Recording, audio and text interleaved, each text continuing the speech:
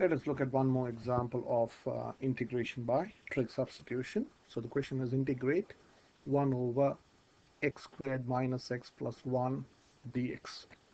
Now to make this a perfect square, uh, I'm looking at the coefficient of x which is negative 1. Okay, now to complete square, what you do is you do the half of the coefficient of x. So the half of negative 1 is negative half negative half squared is a quarter. So as I have added a quarter, you have to take away quarter. Now by doing this, this will become a perfect square and this can also be written as a perfect square. Okay. now this is 1 take away quarter is 3 quarter and this is x minus half the whole squared. Now I want a 1 here. I want a 1, the reason being I want to do a trig substitution. I'll come to that later. So if I want a 1 year, I, I, I have to divide this by 3 quarters.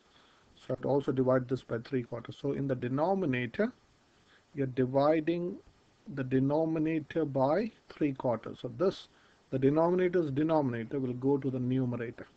So this, when this 3 quarter goes to the numerator, you got this 4 thirds to counter that 3 quarter. So basically, this step and this step are the same okay.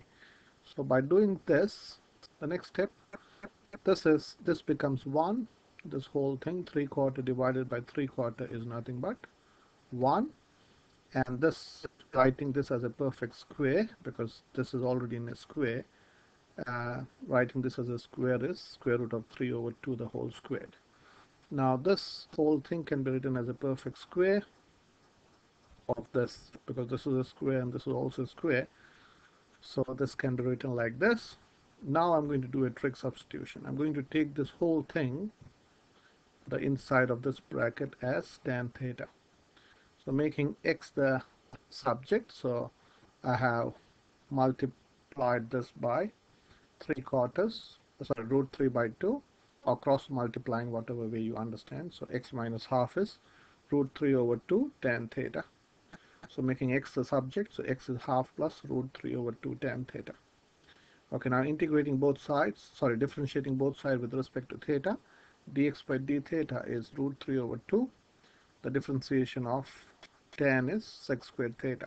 Okay, so now writing, uh, so dx is equal to multiplying both sides by d theta is root 3 over 2 sec squared times d theta what I'm going to do in the next step is this whole thing will change into trig function.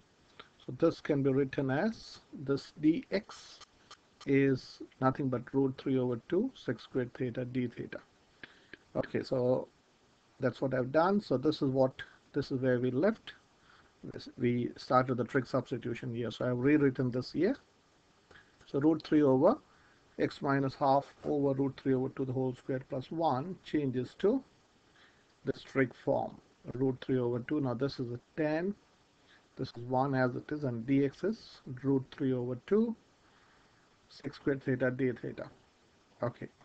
Now this is a uh, this is a constant so that can be taken out. And that's what I've done. Root 3 over 2 is taken out. So 2 goes in for 2 times. And this root 3 this sorry 3 can be written as root 3 times root 3 and so this root 3 and root 3 gets cancelled. So what is left is 2 over root 3 this sec squared theta and sec squared theta gets cancelled.